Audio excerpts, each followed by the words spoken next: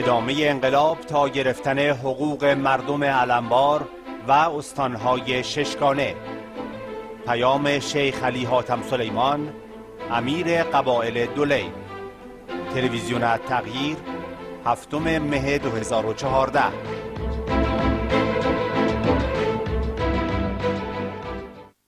منذ اليوم الأول لمغادرتنا أرض الأنبار قبل أسبوعين تقريبا ووسائل الإعلام المغرضة والمشبوهة.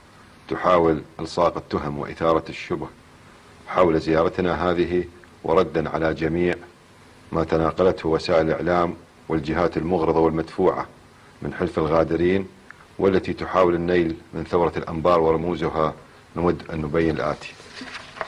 أولا أن الهدف من زيارتنا إلى عمان هو اللقاء مع علماء الدين وشيوخ العشائر المقيمين خارج العراق من أجل التباحث والتشاور فيما يجري في الأنبار. الآن وليس التباحث مع أي جهة حكومية تابعة لبغداد كما تروج لذلك وسائل الإعلام تلك. ثانيا لم نجري أي لقاء أو اتصال مع أي مسؤول تابع لحكومة المالكي أو ممثل له ونتحدى أي جهة تدعي إثبات ذلك.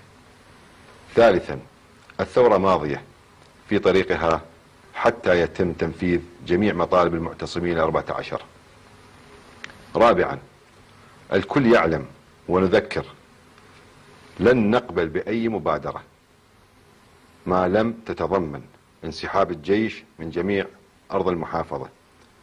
أعلنا صراحة عدم وجود أي جهة تمثل الثورة سياسيا لذلك سنمضي بخطين متوازيين. الأول هو استمرار الثورة العسكرية لحين أخذ حقوق أهل الأنبار والمحافظات الست والخط الثاني لا ندخر جهدا حتى نتصل بجميع الجهات. وهذه الزيارة أتممناها والحمد لله وأعلمنا الجميع بما يجري في محافظة الأنبار. وكان أهم مجريات هذه الزيارة هي ملف العوائل النازحة والمهجرة.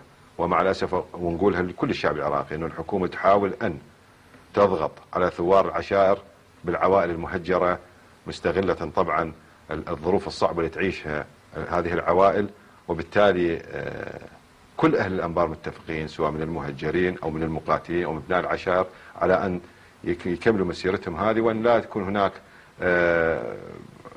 يعني تعاطف مع يعني مع القضية هذه. إحنا نأكد ونقول لن نتخلى عن هذه الثورة ولن نساوم وسنستمر والحمد لله. ردينا إلى العراق وفي الأنبار وعندنا زيارات قريبة في داخل العراق وخارج العراق أيضا وسنبقى ننقل هذه الحقائق لحين أن نوضح للناس والعالم أجمع أن الأنبار متفقة على أمرين مهمة الأول أننا ضد جميع أنواع الإرهاب التي أتى به. مع الأسف حلف الغادرين وبعض السياسيين المحسوبين على حكومة المالكي الكل خاسر نعم ولكن نحن أصحاب قضية وعلى الكل يعلم أنها لن تنتهي بعد الانتخابات ولن تنتهي بست أو سبع أشهر أو ثمان أشهر. إحنا حاسبينها ونعرف ما تنوي له هذه الحكومة وجر الأنبار لهذه المعركة. هناك حسابات سياسية ومع الأسف أقولها بعض الأطراف السياسية. لذلك الثورة مستمرة ويطمئن الجميع. ما مكتوب علينا قطع لا للبيع ولا الشراء ولا المزايدات. ما مجبورين أن نرد ولكن ردنا هذا للناسنا. إحنا نوجه هذا الكلام للناس وليس للخصوم أو الأعداء. اطمئنوا وإن شاء الله الثورة مستمرة. سنكتفي بهذا الكلام وإن شاء الله نقول أنه الثورة أنطت نتائج طيبة وأثبتت الأنبار. أثبتت الأنبار معقل السنة والعشائر العربية في العراق أنها لن ترضخ لا لحكومة ولن ترضخ لأي جهة اللي كانت. وتستمر الثورة رغم أنف عملاء وسنة الزور والبهتان ورغم أنف من أتى من خارج الحدود. والسلام عليكم ورحمة الله.